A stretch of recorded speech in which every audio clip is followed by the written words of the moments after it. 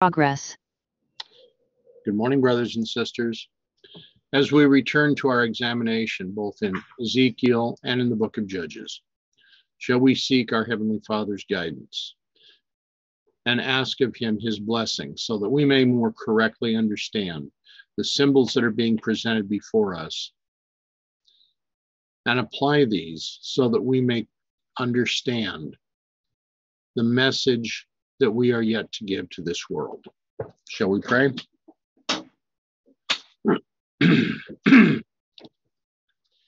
Gracious Father in heaven, we thank you for this time that we may spend together today. I thank you for each that have taken the time to attend this meeting. Be with us now, direct us so that that which you would have us to understand becomes clear. We ask, Father, that your angels surround us, that your spirit be with us. For as you have stated, where two or more are gathered, there you will be also. Help us now that we may have faith in the path on which we're being guided. That we may look to you and to you alone for all that we need in giving a message, a final message to this world. Direct us now. Be with us, we pray. In Jesus' name, amen.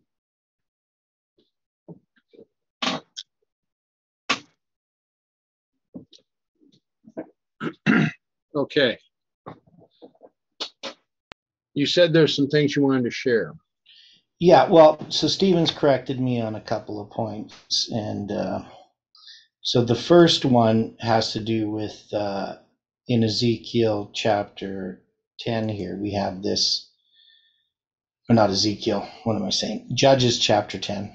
Right. Um, we have the. It talks about the uh, Philistines and the children of Ammon that are, are these enemies. And then it talks about the land of the Amorites.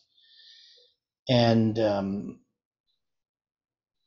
I mistakenly sort of uh, made the suggestion that that these are sometimes used interchangeably, the same people. But the, the children of Ammon, I think it's the river uh, Arnon that borders, anyway, it's something to do with the border between the Ammonites and the Amorites.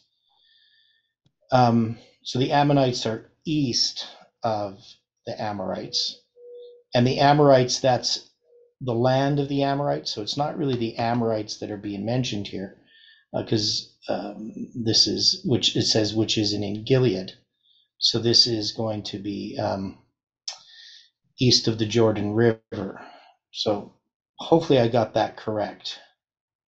Um, so so the, the children of Ammon are descend, descendants of Ben Ami, which is um, means the son of my people, which is a descendant of one of the sons of Lot, and um,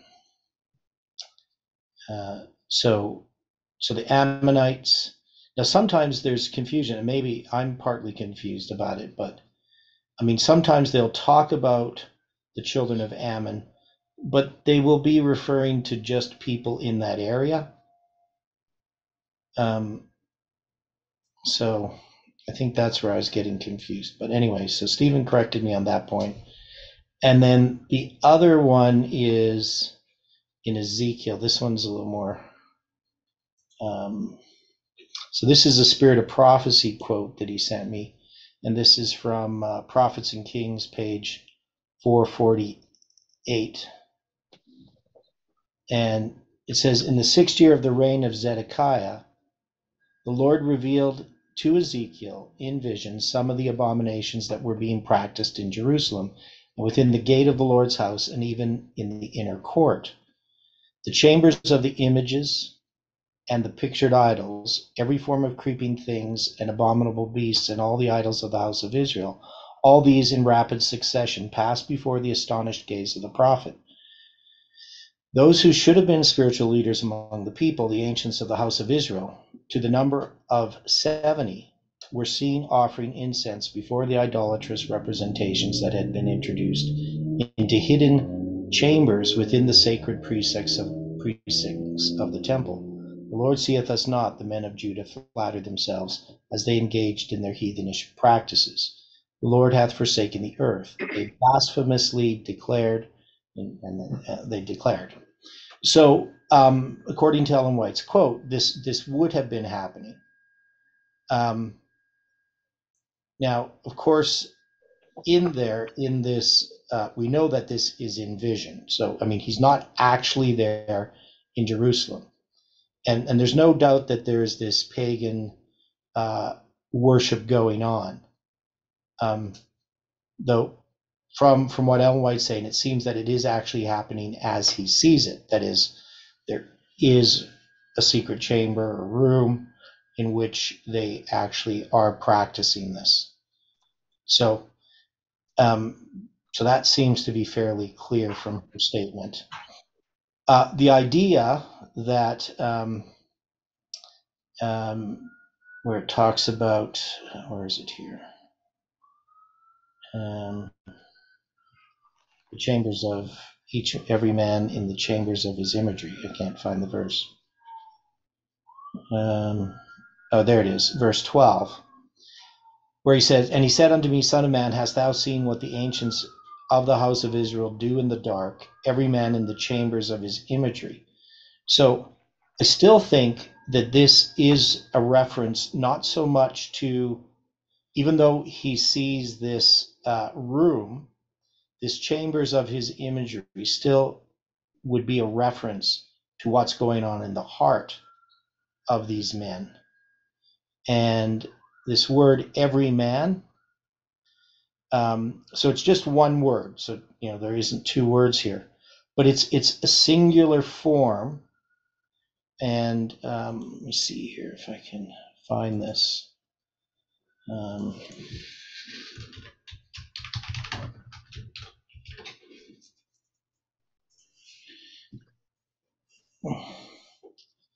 Yeah, so it's just it's just the word ish, which means aman, and it and it doesn't have any sort of so it's not men.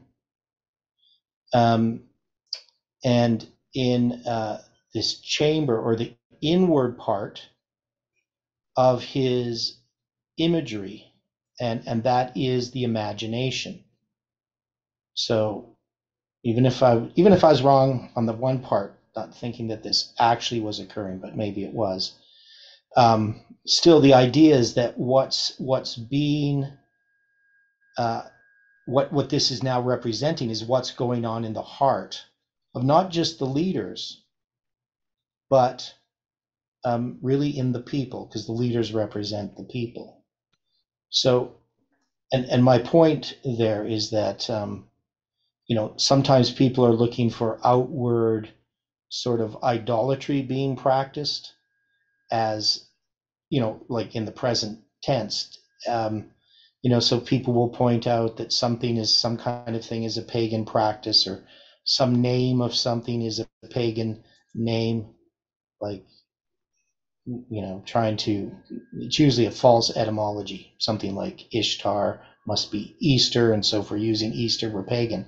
But the the idea of idolatry really doesn't have to do you don't have to have pagan deities per se um, to be idolatrous. And and so to me, this uh, this part, every man in the chambers of his imagery, it's the it's the imaginations that we have, the fantasy world we live in, the way we imagine ourselves, uh, the way we compare ourselves with others. These are the things that presently we need to recognize in ourselves.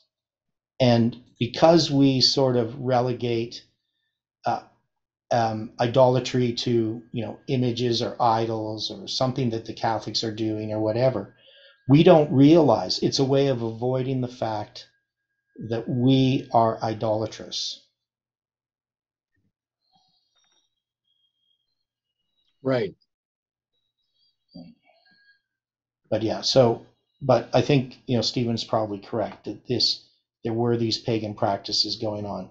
Though he may not have actually been seeing what was going on at that moment, but um, he was able to show the type of practices that were going on. And from Ellen White's quote, it appears these were happening in the precincts of the temple, um, you know, structures, the buildings. Any thoughts on that, Stephen?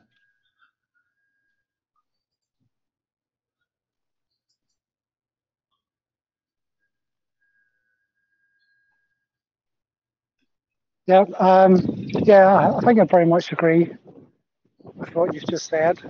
Okay. The impression I got from her writing was these were maybe had been taking place, Mm-hmm. and uh, so the God was sort of showing showing it to Ezekiel what had been happening. Yeah. Yeah, I mean, so the my main point, I mean, still sort of stands, but um, and, but I might have given the impression, you know, there was no idolatry going on, and obviously there was. But I, I still find it amazing that they would do this, like in the temple precincts itself. But that's what Ellen White says. So, um, you know, like in such a way that other people know about it. That's pretty brazen, um, because you know they don't think that God actually sees what they're doing, and and that's much more common on the individual level. Like you know, there's a lot of things we won't do in front of others, but if we think no one's looking, uh, we will do them. And but I know in this day and age, people will do a lot of evil in the public uh, um, that they wouldn't have 20, 30 years ago.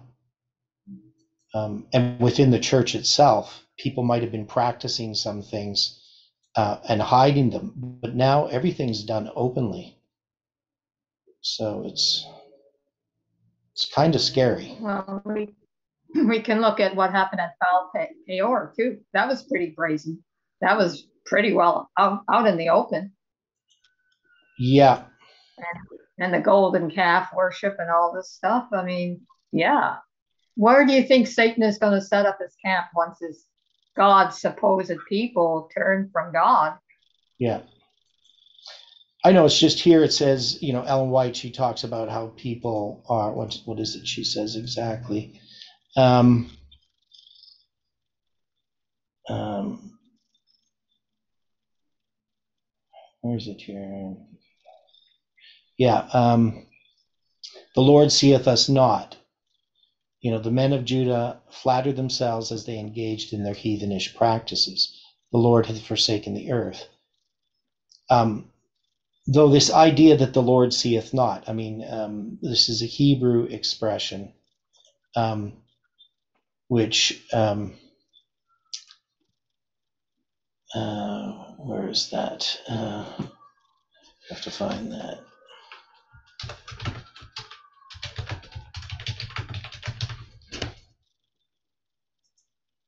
Ezekiel eight ten.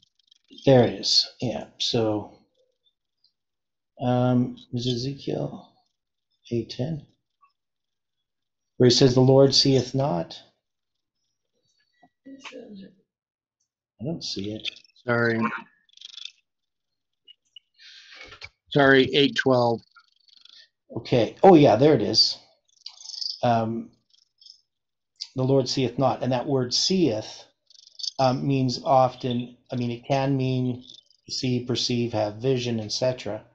Um, but it can be uh, that God gives no regard. And so when it says he seeth it not and the Lord hath forsaken the earth, uh, the idea there can be, um, you know, he doesn't he doesn't uh, pay attention to anything anyway. So it's not so much. I mean, there's part of it that the Lord seeth us not, but it's in the sense of he's not even looking. It's not like that we're hiding from God. He doesn't really care about what we're doing. Almost sort of a, a um, like it's an attitude about God that's uh, obviously incorrect. And don't we find that, don't we find this, Uh, go ahead, Dwight. But we find this repeated in Ezekiel 9, verse 9. Um, Is this a deist thing? Because of, I heard or I read that the deists believe yes, God exists, but He has no no. Uh, yeah, He doesn't care about what's happening here on Earth. He's just left us to do as we please. Yeah, it's definitely kind of a deist thing. Of course, they're worshiping pagan idols, and and so part of it it could be be that they don't see that God's working on their behalf, and so they're turning to these pagan idols. That could be part of it. Um, but it's uh, yeah. So in Ezekiel nine nine, you have exactly the same thing, though in inversion. The Lord hath forsaken the earth, and the Lord seeth not. Uh, so they put it in a different, um, Different order. yeah, different order. And but here you see that um, they're turning to pagan idols, and the reason they worship these idols is just like they would turn to, uh, you know, whether you can have Babylon be your protector or Egypt. I mean, you you have some kind of belief that uh, there are these different powers that can work on your behalf. And so, since it appears to them that God's not working on their behalf, they've had these judgments against God, then um, he obviously doesn't care about us. Um, and I think that's part of the idea. So they're turning to these pagan gods, but in reality, they've been departing from God for a long time as a nation. So, you know, it's it's sort of an excuse for their pagan worship. Um,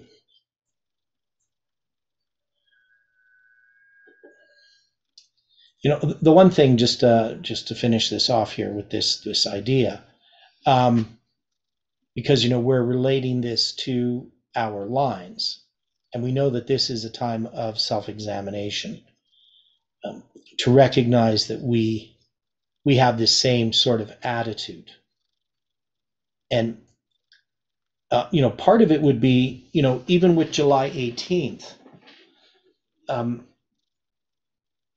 it may have been indirect uh, but in some cases fairly direct that there was an accusation against god for the failure of the prediction.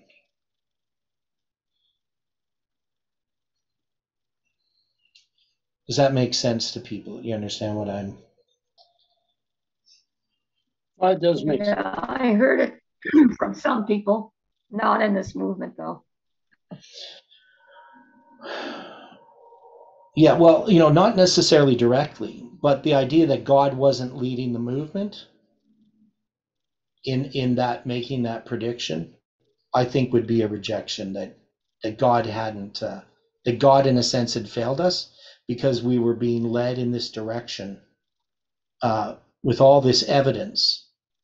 And and Jeff had said before that you know if this doesn't occur, I mean, God would have to you know, because God had led us in this way, um, it would it would definitely be God's fault. I mean, he's not saying it in the sense that God did something wrong, but God would would basically have to be the one that would answer why it didn't occur. He would have to be held responsible. Yeah, so God was behind it is is the main point that Jeff was making, and um, so when it did fail, um, you know, people had to make a choice. You know, was God leading us or not? And and many people just said, well, God wasn't leading us. In a sense, He had forsaken the movement because if the movement was of God, which they tried to claim it was, then why were we brought in this direction? And I never saw any satisfactory answer to this accusation.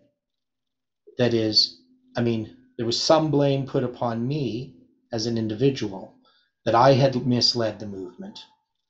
But but the reality is I hadn't done anything. I mean, I was part of the movement.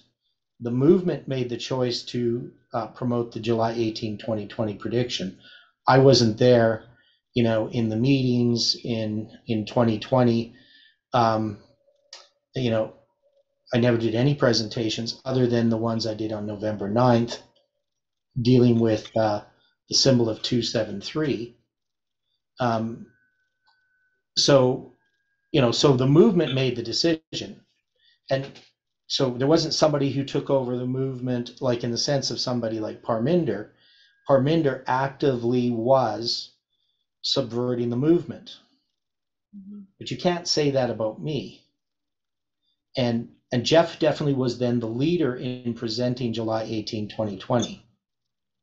And and if God then had, you know, if the movement had made a mistake in the July 18, 2020 prediction, um, you would either have to blame Jeff or God. So so when people were rejecting all of the arguments after July 18th, sort of just dismissing them with the wave of a hand, um, instead of examining them, they were, in a sense, saying, God has forsaken the earth. He does not see us. And, and we can go back to whatever it was we were doing before, worshiping the false gods we want to worship, which is our own rationale and ideas.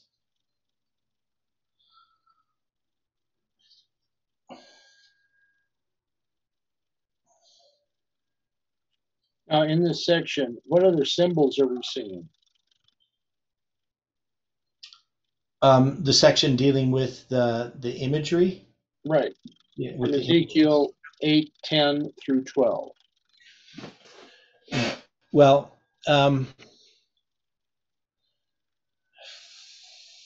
well, one of the things is it brings us back to, and, and, you see this actually in um, uh, this this whole thing of the abominations, is you know you see this heaven and earth, you see now some of this some of this brings us back to Genesis chapter one, I guess is what I'm trying to say. It's kind of an undoing of creation. And and they're going to end up worshiping the creature rather than the creator. Sort of reminds me of of Romans um, chapter one.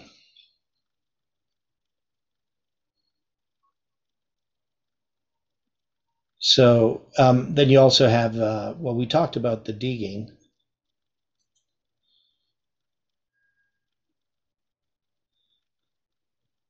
Uh, what other things? Well, okay. We have been applying, then.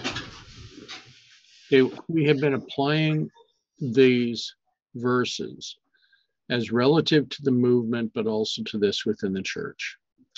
Mhm.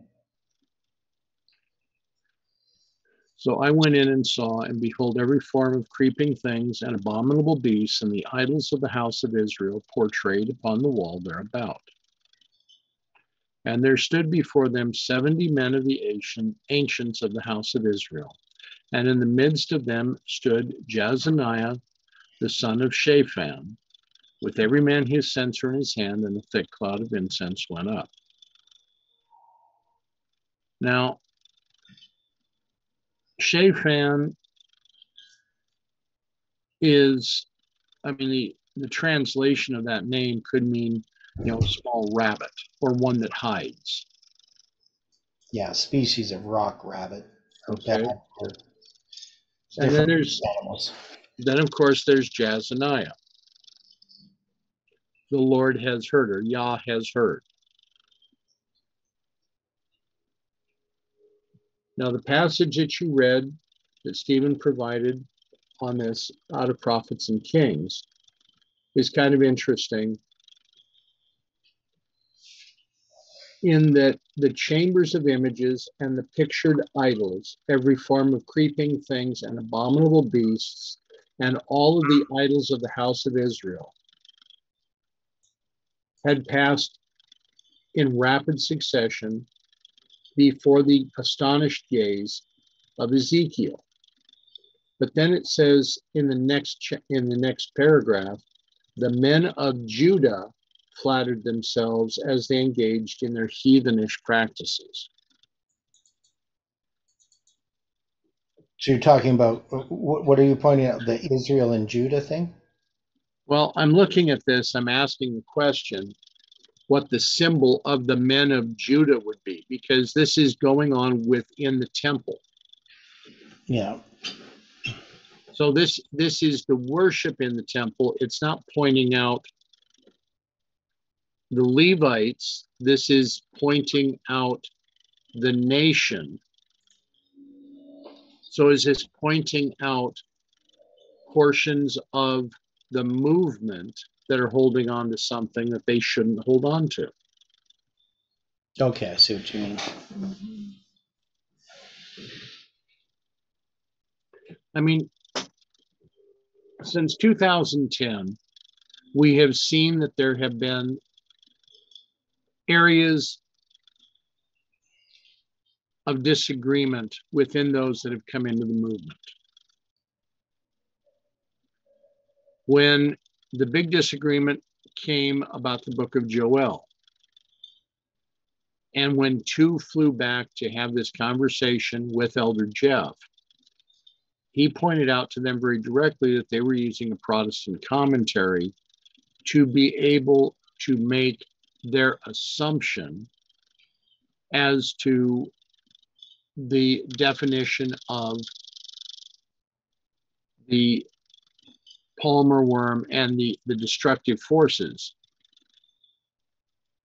Where if we were using Miller's rules directly, we would establish that it's Rome that establishes the vision. Yeah, and, and I, I thought their argument was r- rather weak, um, Rather, based upon trying to use these definitions. So one thing we know about um, uh, nomenclature, you know, biblical nomenclature, like naming of things, is it's really hard to know because you can't usually figure out by context when you have these different insects and so forth named because you just don't have a lot of examples. You don't have encyclopedias, uh, you know, listing the names of all the different insects and animals and describing what they are. And, and they often do it by, uh, they know that these are borrowed words from other languages, but those same insects can be called different things, or the same name can be used for different types of insects in different places. But it seemed like that seemed to be the only real argument they had. Um, but it's pretty obvious, yeah, when you use Miller's rules, that this is referring to Rome. I mean, the, the point here Mhm. is in using Miller's rules, they would have been comparing line upon line. Yet they made the choice that instead of comparing line upon line, they were going to rely upon the words of men. Mhm. Is that not a type of idolatry? Yeah. Absolutely. Now, now it's kind of interesting that you know Parminder really started talking all about this methodology thing, and and it became a big issue, right? Um, and and I remember Tabo, one of the, his arguments against July 18th is it wasn't line upon line, um, but Parminder wasn't actually using line upon line in accordance with Miller's rules, and um, and then other people have accused me of of making um, methodology a test when it comes to chronology. They say, well, chronology, you're doing the same thing with chronology that um, um, Parminder did with with the lines. Um, but you know, that's just sloppy um, sort of argument. Um, because we're very methodical when it comes to following Miller's rules. Nothing wrong with looking in a Protestant commentary either, you know, to get a definition of a word or to, um, you know, find some other references. You know, if you're going to look at about who the Ammonites are, uh, it's very helpful to look at some Pro- Protestant dictionaries and, and they'll refer you to the verses. But you definitely can't use the type of argument uh, that Emiliano was using and, and the others um, to try to prove that Joel was referring to Islam with these different stages of insects. And and it's pretty clear then because this was a real argument for the four generations um, that we needed to understand how these worked. And, and, and part of the disappointment I have with all of that is uh, the distractions that happened in 2000, well, from 12, 13, and 14 till finally that the split happened with the movement. And, and it probably even started back earlier, maybe even 2010. Is that some of these things that we should have been studying, we got sidetracked from them. And, and I don't think that we really got a good handle on what Joel was all about in the first place.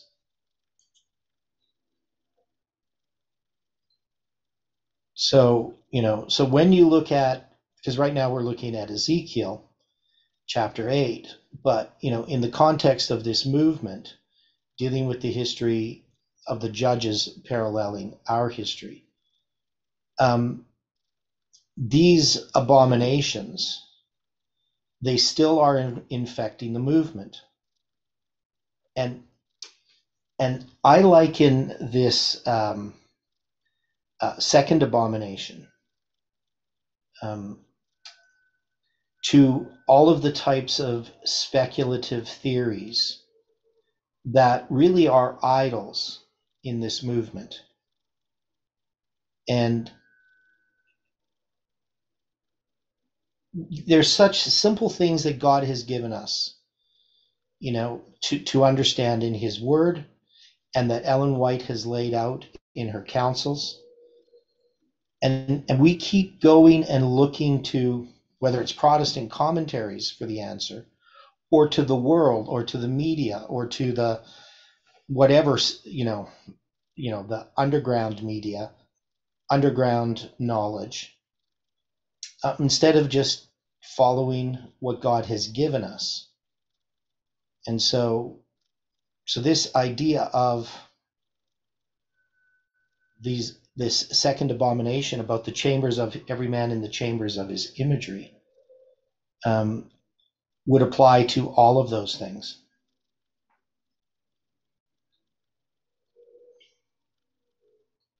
Well, chambers of his imagery. I think you were you were correct in looking at this as being the heart. Mhm. And we have to come to this understanding because we have been shown that the Holy Spirit cannot abide anywhere there is an idol. With God, it's all or it's nothing.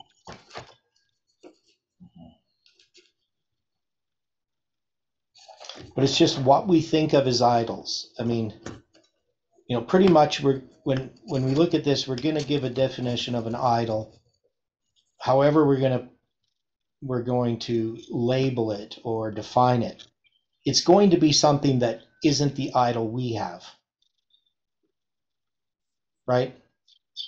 Like it's easy for somebody who's not interested in sports to talk about how sports is idolatry or you know whatever it is that that they're not involved in. But it's much more difficult to recognize the idolatry in our own heart and to label it and to forsake it. Right.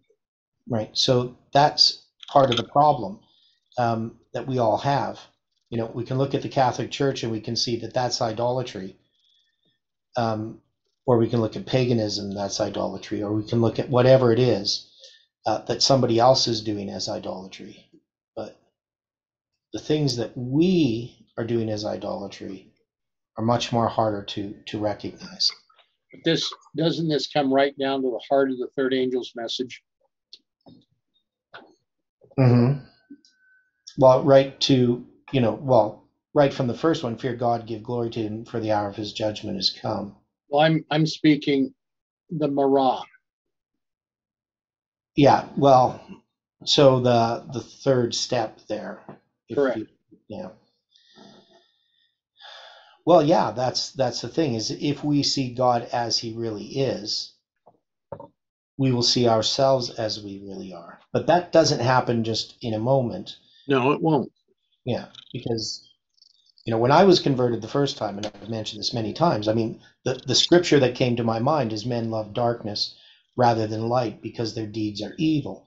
And I saw how I was hiding my sins by the things I was trying to do to be a Christian at that time. Um, so Well, if God if God had showed me everything though, there's no way that I could have uh, been able to stand. I wouldn't have I wouldn't have made the choice to follow him. I would have been overwhelmed. So he has to lead us step by step. But it does come in some ways our first conversion is a revelation of Christ.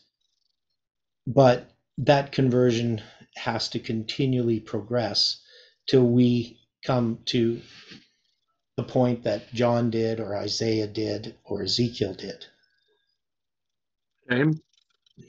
Or you know Enoch. But in this in this situation, as we're looking at this in Ezekiel 8:12,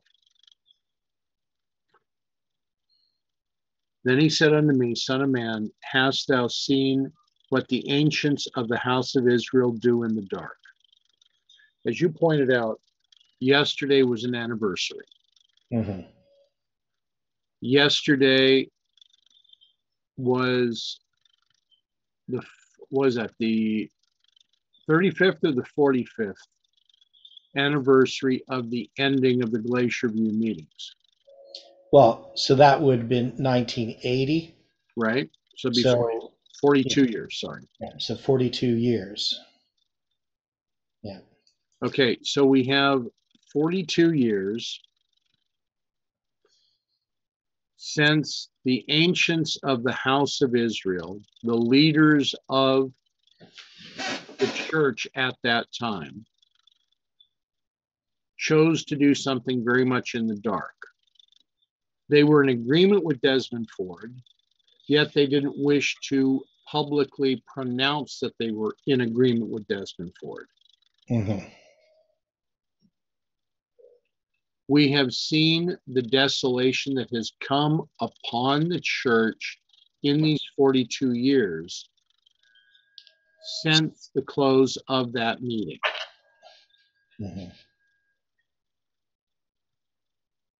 Yeah, and, and, and you know, and I became an Adventist uh, December 25th, 1982. So two and you know, two years and whatever it is, four months after Glacier View. Um, and definitely the church was in a, there was, uh, I guess looking back, I, I you know, because at the time I didn't know what was going on, but there was kind of a tension that had existed because of Glacier View. There was kind of a, uh, people were now sort of jockeying for position of where they stood on this this issue. Um, so it, definitely the church was really affected by what happened because Desmond Ford was he was a star in Adventism. Correct? Right. Yeah, I mean he was a star. It'd be like um, Doug Batchelor, um, you know, going into apostasy or something like that. Um, so many, many people left the church following Desmond Ford. Many ministers had resigned. All kinds of people, you know, uh, were very upset about what had happened with Desmond Ford. And you know, as I said before, my my the guy who baptized me, the pastor who baptized me, I mean, he called himself a Ford man, and he just felt that Ford had moved too quickly. Um, so you know, so this was, I mean, I don't know what would have happened if Glacier View hadn't occurred. Uh, maybe we would have got to the way, place we are now in the church much sooner. Though, um, can't remember if it's Froom, Froom or Cottrell, but I think it's Froom. But anyway, mentions about, you know, some of the attitudes. You're not going to change the old people, but they'll eventually die, and the young people are already being, uh, you know, I'm paraphrasing it um, but you have a generation that passes away. And, and that's what's happened to Adventism. I mean, and even to the world. I mean, if, you know, if people from 40 years ago could have seen where things would have, the, the, the issues of the day, where they would have tended, uh, they would have taken a much harder stand against what was happening. Um, But now we, we have everything, whether it's in the world or in the church or even in this movement, um, we, we've gone far from where God had wanted us to go. And uh, so this anniversary of Desmond Ford's um, trial, uh, how does it illustrate what's happening today? Well,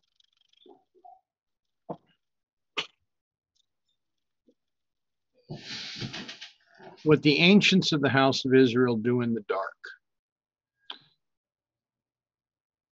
When the situation on the book of Joel began to be addressed, we saw that there was a, a large division within the movement and really a shaking of how do we choose to study. Okay, and no, we, and remember, we also parallel this with 1888. Exactly. But it's very much a parallel with 1888. Mm-hmm. But our situation for today is to see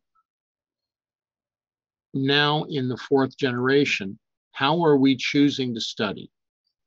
Are we choosing to bring line upon line, comparing what is written, like in Ezekiel, with that which is written by Mrs. White, to try to understand this more clearly? Or are we saying we need the Bible alone and Mrs. White is not important? Mm-hmm. We've had too many that are denominated in name only. We have many within the church, many within the movement that are not choosing to study for themselves.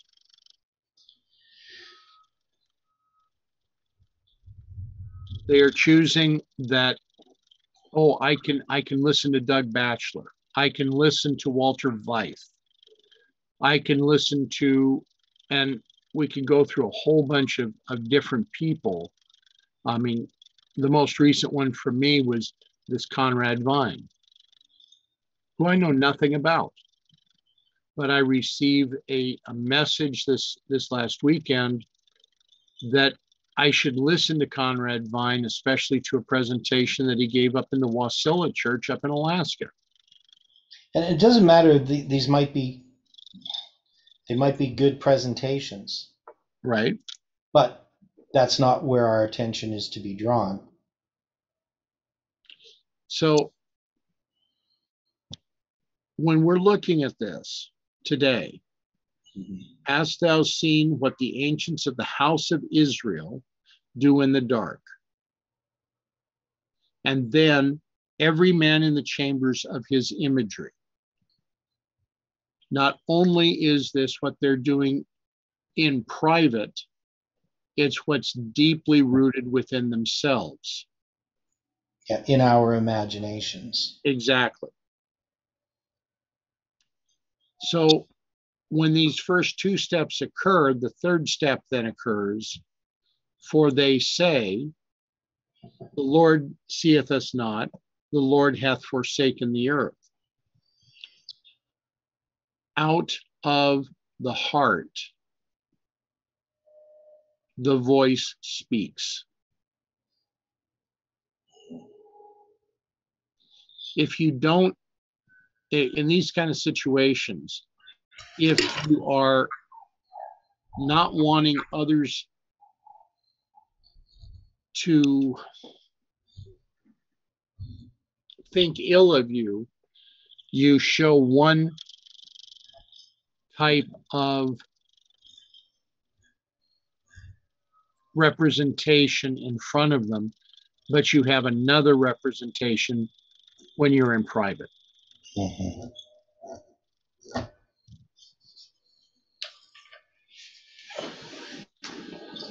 So, our situation here, when we're looking at this with Ezekiel 8, verse 12, or Ezekiel 9, verse 9,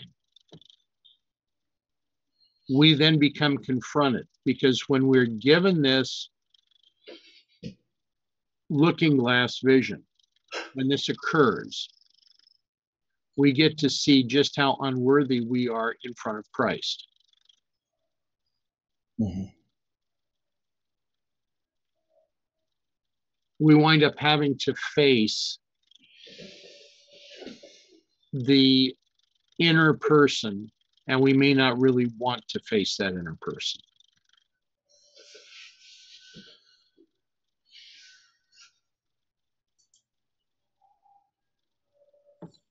And that's that's where this Mara vision, when it came to Daniel, when it came to Ezekiel, when it came to so many, it it dropped their glory into the dust. And isn't that the work of the message of righteousness by faith? That it places the glory of man in the dust. Mhm. Okay, so we got this this first abomination we we have is this image of jealousy, and this would be the the idea that jealousy comes into the movement. Right.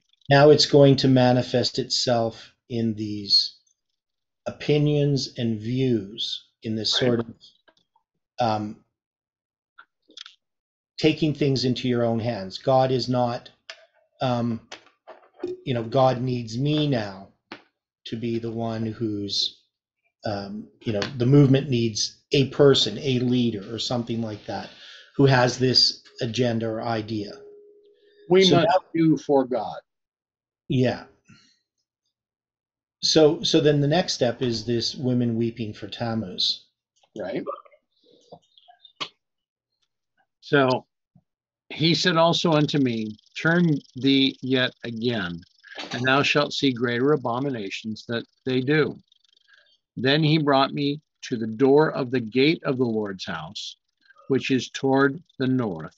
And behold, there sat women weeping for Tammuz. Then he said unto me, Hast thou seen this, O son of man? Turn thee yet again, and thou shalt see greater abominations than these. Okay, so these women weeping for Tammuz has nothing to do with Lent. Uh, there's no connection No, at all. Um, um, now, why are they weeping for Tammuz? Um, we're probably going to have a lot of different uh, um, different types of misinformation about this. But what is the weeping for Tammuz? Where where does this come from?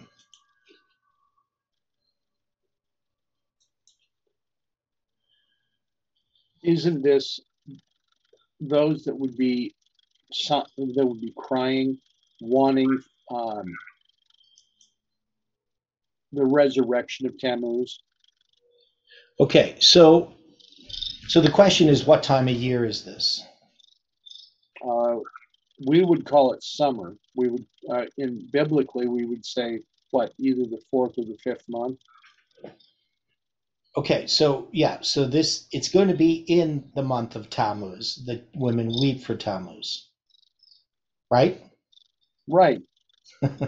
so, Right. So so it's a type of worship that occurs um, uh, in connection with this uh, this month, which well we know that um, uh, the fifth day of the fourth month is when Ezekiel's visions begin, right? This one's going to be, and and that's the thing is he's going to be seeing this in uh, the sixth year, the fifth day of the sixth month, right?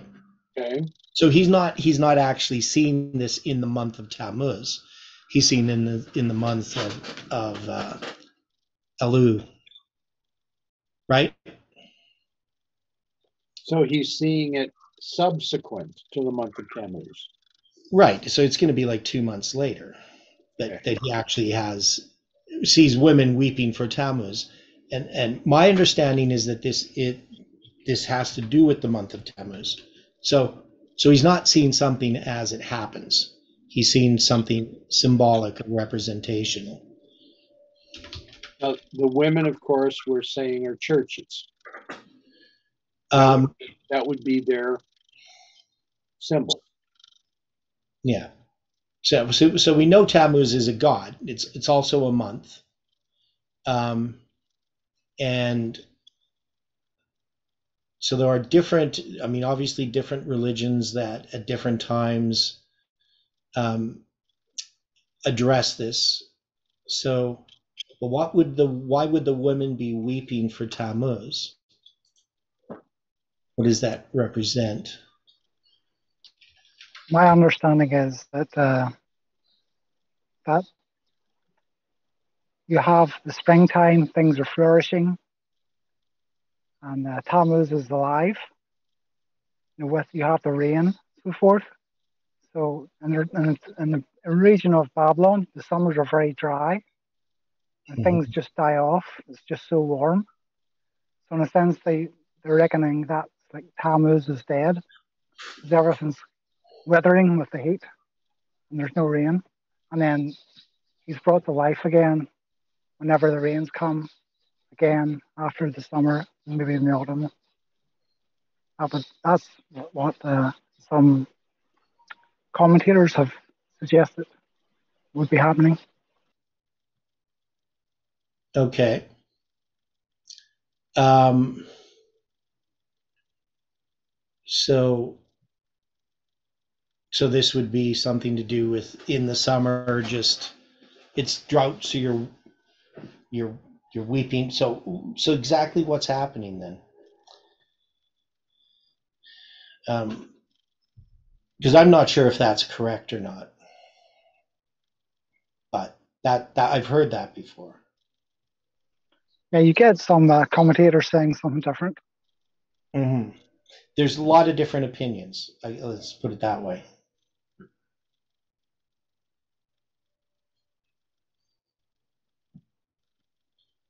Okay.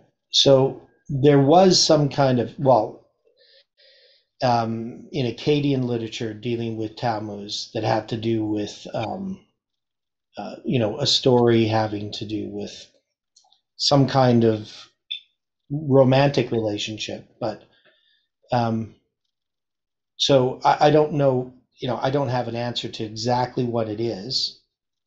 Um, so a- any other thoughts on this? I, I mean, I'm trying to find stuff. There isn't a lot in the Bible that I can see that we can reference. Uh, do you have any, any, do the commentators there, the translators, have any uh, verses that they reference us to? Well, I in in the 1769 Bible, I didn't find anything. Yeah, I mean, they, I mean, they, yeah, I don't find anything other than this verse. Right. So, like, there's not another reference to women weeping for Tammuz, or, I mean, Tammuz, even um, as a name, uh, we have it where this one time, right? Um, so,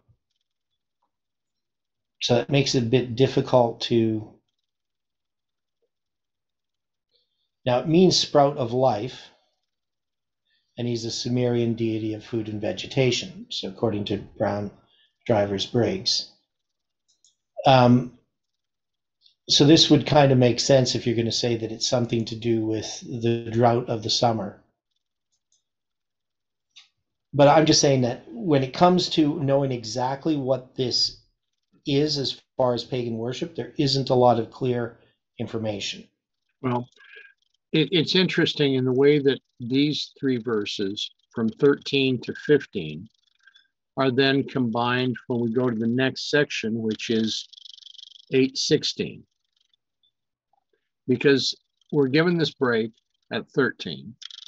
Our next break comes at 16. And he brought me into the inner court of the Lord's house, and behold, at the door of the temple of the Lord, between the porch and the altar, were about five and twenty men with their backs toward the temple of the Lord and their faces toward the east, and they worshiped the sun toward the east. So are the women weeping for Tammuz to the north and the men worshiping the sun to the east being combined? Yeah, that's a good good question. I mean, so now we know it's they're at the door of the gate of the Lord's house, which was toward the north. Um, so they're weeping for Tammuz there, and then these men are uh, these um, five and twenty elders are going to be worshiping this the rising sun. So that's towards the east. Um, are they together? Are these two grouped together? I mean, we, we look at them as progressive. I mean, we know that um, the women weeping for Tammuz is going to be represented in uh, Adventist history from 1919 to uh, 1957. So, and it's going to be marked by the two books. Um, um, the doctrine of Christ and questions on doctrine. Is it interesting how those two books are both giving reference to the doctrines that they've set aside? Right, exactly. And and so this woman weeping for Tammuz has to relate to that. I mean, we have it here and you know, and, and many people try to attach this to some kind of pagan worship or something that's happening in Christianity or in the Adventist church or whatever. But um, this these women weeping for Tammuz, they're longing for something, and and to me it represents, uh, um, and that's why I think. Uh, the idea that this has something to do with some more r- romantic story in the idea of um, pagan worship.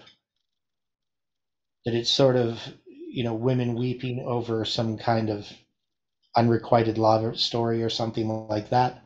Um, i don't i'm not sure exactly what the story is because there's different sketchy ideas. But what i see in adventism in that period is definitely the courting of the Protestants and and not wanting to be considered a cult.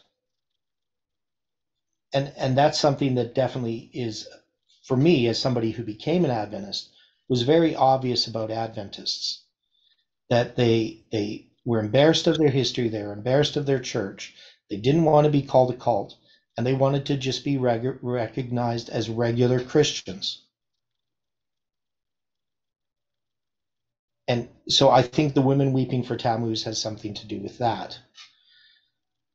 As far as when we make the application for the Adventist church.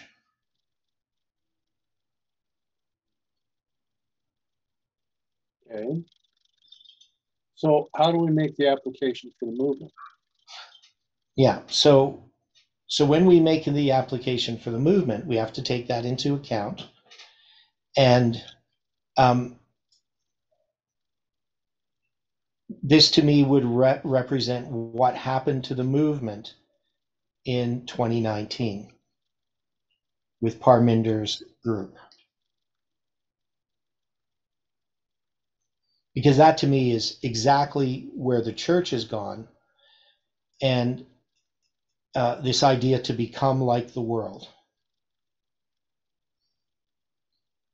in dress, in what we listen to, and what we take in as news, our opinions, our cultural views, if you want to call them cultural, uh, social views. And that's what happened in 2019.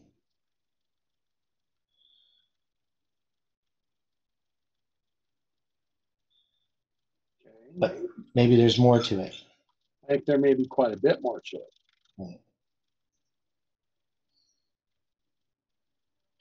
yeah, I just wish I knew more about what this woman because there's just too much contradictory information on it for me on to know what this exactly means.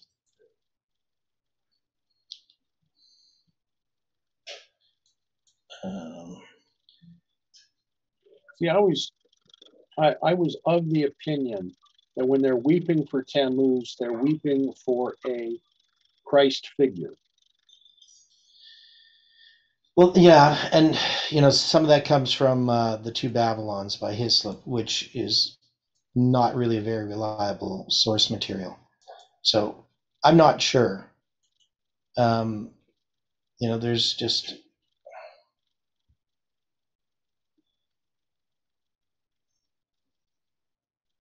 you know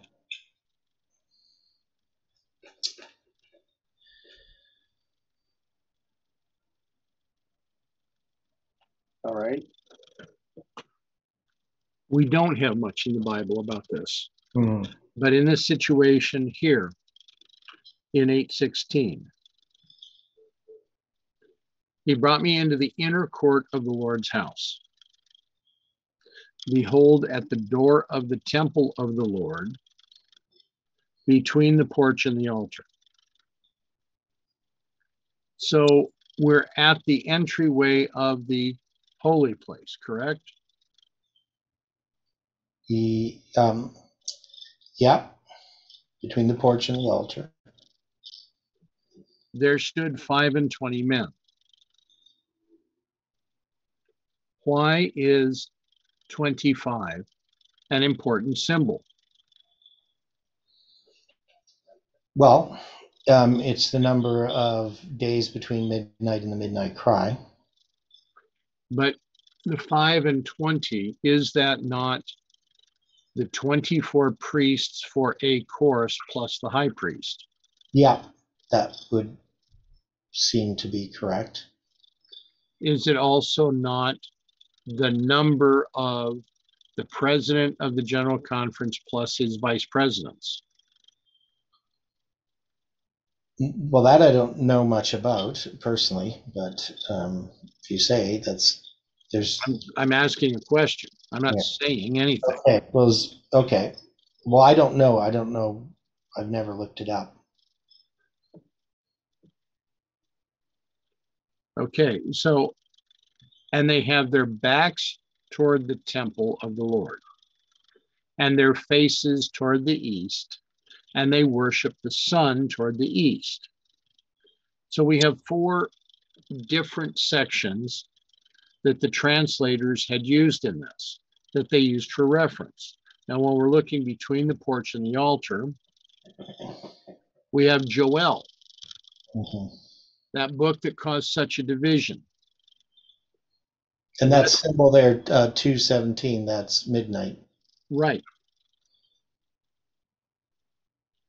Let the priests, the ministers of the Lord, weep between the porch and the altar. So you're not weeping to the north. You're not with the women.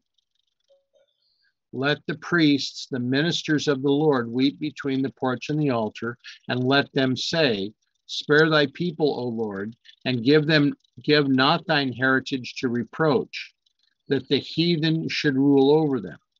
Wherefore should they say among the people, Where is their God? Now, Ezekiel 11 1. Would we say this to be a triplet? 111. Well, it's it could be January eleventh. Okay. Or the 11th day of the first month. Well, which is January eleventh. I'm speaking I'm speaking in a biblical calendar Yeah. Well, yeah. Because the Yeah. the 11th day of the first month would have been after the sacrificial lamb would be, would have been chosen. hmm Now, this verse reads, Moreover, the Spirit lifted me up and brought me unto the east gate of the Lord's house, which looketh eastward. And behold, at the door of the gate, five and twenty men, among whom I saw Jaazaniah, the son of Azur, and Pelatiah, the son of Benaiah, princes of the people. Now, you have Jaazaniah, the son of Azur, listed here in in Ezekiel 11:1. But when we when we were looking at this before, we had Jaazaniah the son of Shaphan. Are these two different people?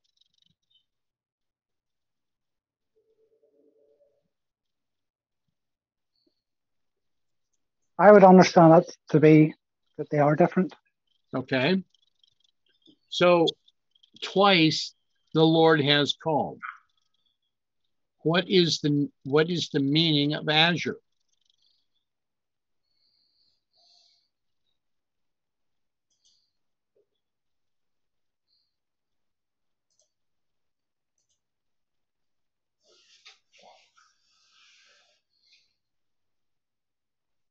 So you have Yah has called, and that person is the son of a rock rabbit or one that is in hiding.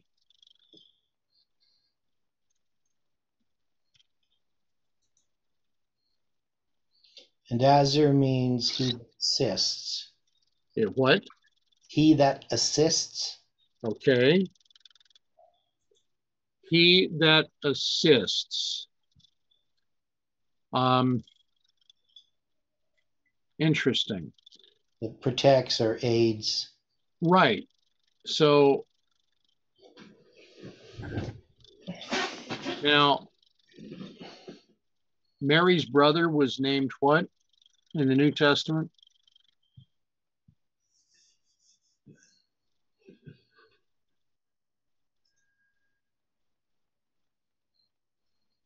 Who was Mary's brother in the New Testament?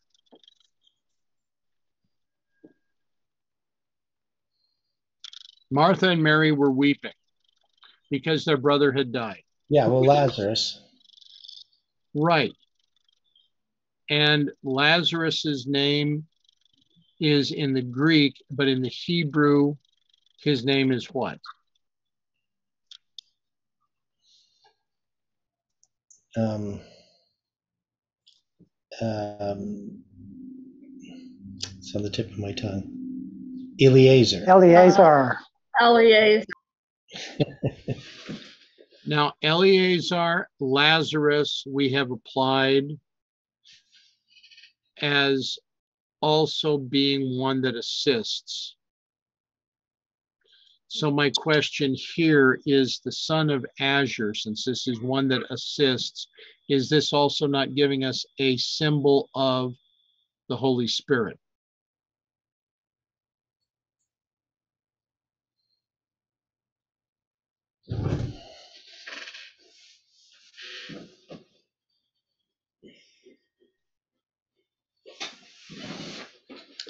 Well, possibly. I mean, Okay, now this other person, Pelatiah, the son of Benaiah. What do we find these names mean? well, Yah has delivered, Okay, and uh, Benaiah means Yah has built. Okay. So when we're looking at these men, these two men and their lineage, is this possible that this is showing us the movement itself? Okay, so you're taking Ezekiel chapter 11, Right? and and you're now trying to apply it to the four generations that we're applying to the movement. Right. Okay. Um, I know it's in the same vision, um, but it's it's not one. I mean, you're going to have these uh, 25 princes that are going to be the men that devise mischief and give the wicked counsel in this city. Um, so you're saying this is sort of related to the five and twenty elders weeping for Tammuz Well, because of the number. I'm asking the question because we're given the five and 20 again. So we're comparing this with the five and 20 that are worshiping the sun. But now we're beholding at the gate five and 20 men, among whom I, I saw Jaazaniah, the son of Azur, and Pelatiah, the son of Benaiah. Yeah. as princes of the people. So, so these are going to be this story where um, they're not. I mean, they think that they're protected by God because they're in the city of Jerusalem. They're not cast off like the other ones spread, you know, the the captivity of the ten tribes. And so they think it's not going to happen to them what happened to the ten tribes. Right? That was what we got from Ezekiel chapter 11 in a very simplified way. And the promise that's going to be made to them is the one of the new heart. Right. Um, and uh, I'm just looking ahead here. Right, so they're going to go into captivity anyway. God's going to warn them of that.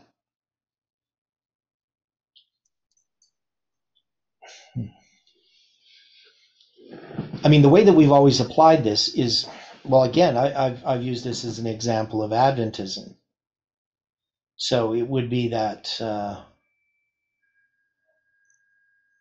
you know, that same history, I guess, if we apply it to Adventism that we see from, uh, well, definitely since 1957, when we were so happy that uh, Walter Martin declared that we weren't a cult anymore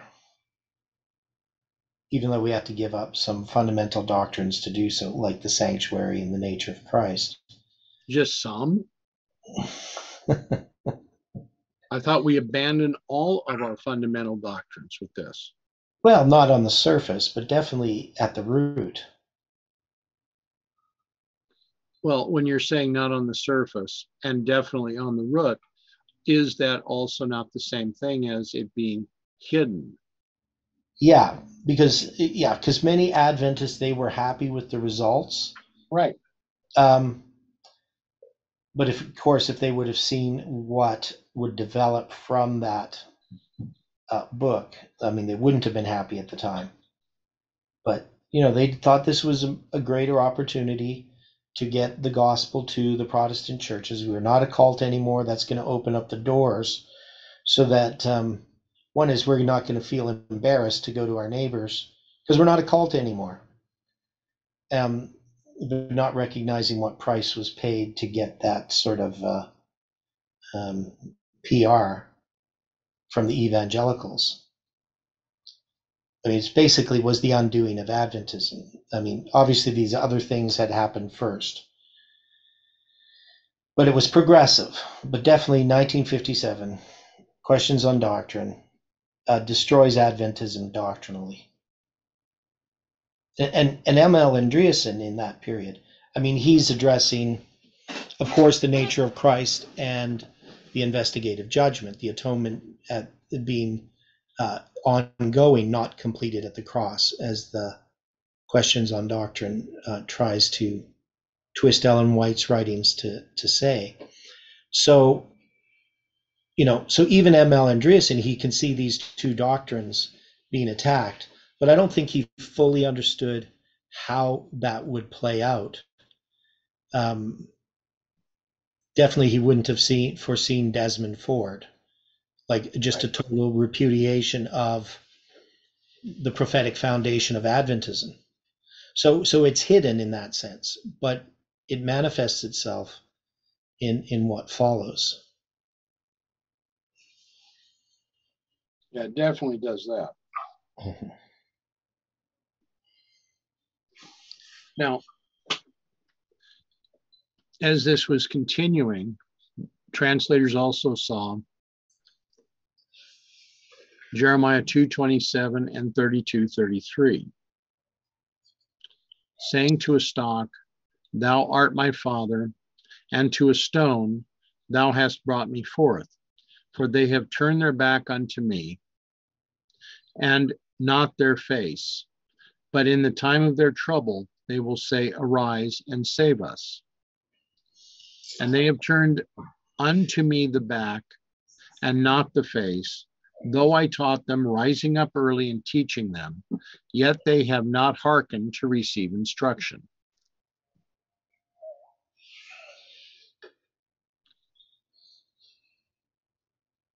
I read something like that, and my mind is taken to the quarterlies because for the last many years, we're not teaching anything, we're spoon feeding. We are not going out to put meat before the people. We keep the milk before the people because we don't want strong Bible believing, Bible understanding people within the church. We want them reliant upon the leadership, upon the ministers for everything that goes on.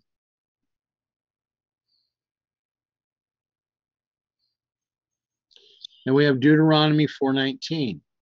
Unless thou lift up thine eyes unto heaven, and when thou seest the sun and the moon and the stars, even all the host of heaven, shouldest be driven to worship them and serve them, which the Lord thy God hath divided unto all nations under the whole heaven.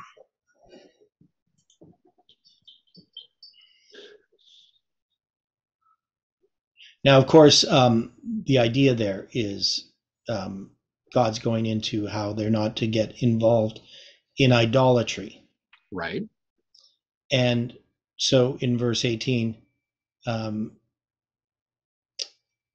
so you're not going to make all these different idols, right? Like the likeness of anything that creepeth on the ground, the likeness of any fish that is in the waters beneath the earth.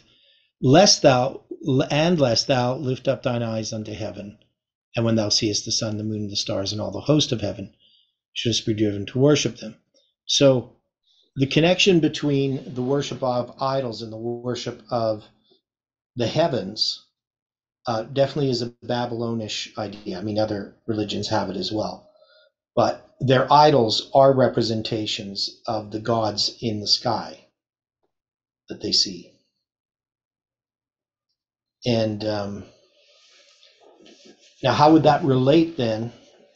You know, if we're going to, to take this idolatry and we're going to look at it in that that sense, this uh, um, well, you have the worship of these idols portrayed, and and, and I had this idea that it's like, uh, you know, uh, a planetarium, you know, where you have the the constellations displayed on the uh, the sky or the ceiling. Um, and another interesting point about this, in Egyptian tombs, um, they have on the ceiling of the tombs um, the date that the person died and and the way that they do that is by the depiction of these gods. Um, so because the gods represent the constellations. And so how these constellations are being represented by these gods is telling you the date. You can actually date specifically um, because it's representing the sky and the sky only ever really exists in one way at one time. It doesn't repeat. And um, so you can d- d- date these Egyptian tombs, the date of these different uh, kings, um, in this way. So, so the idea of dates, chronology, is related to this idea of uh, these depictions of these gods, if you want to look at it that way. So, what would be the difference here between what we're doing with chronology, because we are using the sky in a sense, because that's how you do the Hebrew calendar, and this pagan worship of these deities connected with the host of heaven. What would be the difference? Well, we would be worshiping the God who created all these yeah, and, planets yeah. and stars and so forth. It's not we're not saying they are they are God. Mm-hmm. Yeah, and and so this perversion of the sky or the God's calendar in this pagan worship, what is it then?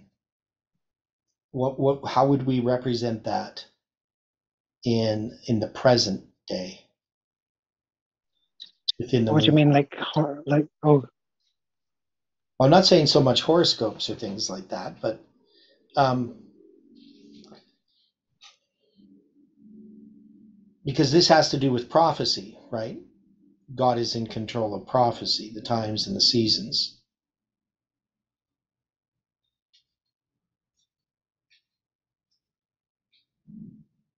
I think it definitely has to do with prophecy.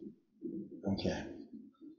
So, how can we tell the difference then between true prophecy, uh, you know, the true calendar, the, the chronology that we're using, and that of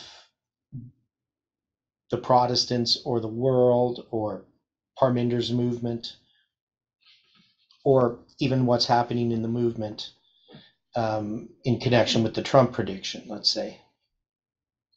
is, there, is there any connection? I'd have to think about that. My my mind is running more toward uh, the fact that many today are actually worshiping the creation rather than the creator by their claims of climate change. That all of this with this quote unquote Green New Deal boils down to a worship of the creation and the setting aside of the creator because they believe they can control the climate where i mean they have no control over it Okay. Uh, well, there definitely would be a parallel there. I mean, though I think the Green New Deal is more about money in the pockets of the elites rather well it's that too exactly then uh, I mean they're using that as an excuse, but that's Um, also another idol yeah. But but I think in this movement, I mean, if we're going to try to see what idolatry is, here in Deuteronomy, it's going to be connected with the worship of the sky, the gods in the sky. So you got the the idols themselves, but those are just representations of what's happening in the sky, right? Because that's where the gods are. Um, so, I mean, people have actually criticized me personally in that I'm actually doing astrology or I'm worshiping uh, the sky because I use calendars, or you know, they may even argue that you know I'm I'm using a Gregorian calendar, or a Julian calendar, or a Mayan calendar, or the Islamic calendar, all these pagan calendars, pagan Roman calendars, right? The pagan Rome and the papal Rome calendar, and and and they say you can't use any calendar at all, right? Any any calendar at all is idolatry. Hmm. So, um, but we know that, that that's obviously not the case. But in, in this case, if we're going to talk about idolatry in the movement as a symbol, I mean, you have the sun worship part, which we, we haven't really addressed in the movement. Um, but you do have the the idol, you know, the women weeping for Tammuz, which is obviously uh, relating to gods um, in the heavens, and then also these portraying of these idols on the walls. So, what would these represent specifically as an error within the movement?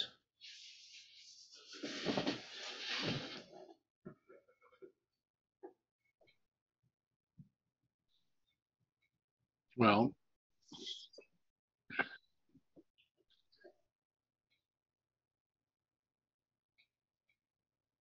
again holding on to protestant definitions of things setting aside miller's rules um, lifting up man in the place of god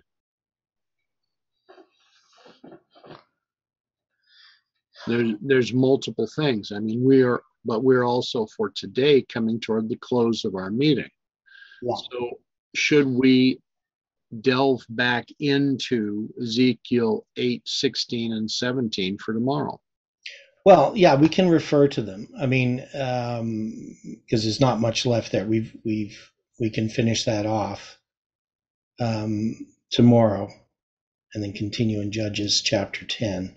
right Um, okay, Yeah, so kind of think about that question maybe. Okay.